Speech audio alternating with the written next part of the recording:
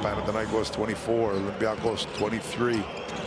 Goss trying to get to the hoop off the Sigma. Sigma somehow or another comes up with a loose ball and has a lot wide open reverse layup. A little bit slower in that second quarter, but we're going to check out some of these halftime highlights. Grant knocks down his fourth point of the night. Williams Goss with the shake and bake to the basket. He just shook down Kyle Guy.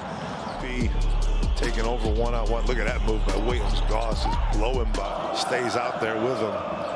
He's got a three-guard set with him and Canaan. Nice backdoor cut. Goss up and under. And there's a beautiful setup play.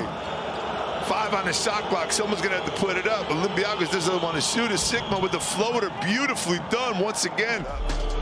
To the captain. And Sigma there with a nice soft touch. But he's begging for the ball. And he got it too late. Now can Williams Goss finish it off? Goss from three. Yeah, Goss better make that shot right there because he had Gomez takes the contact, goes up.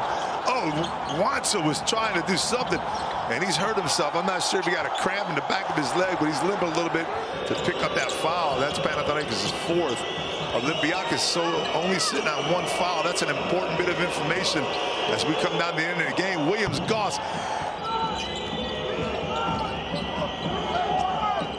Goss steps back. Goss. Oh my! Williams Goss.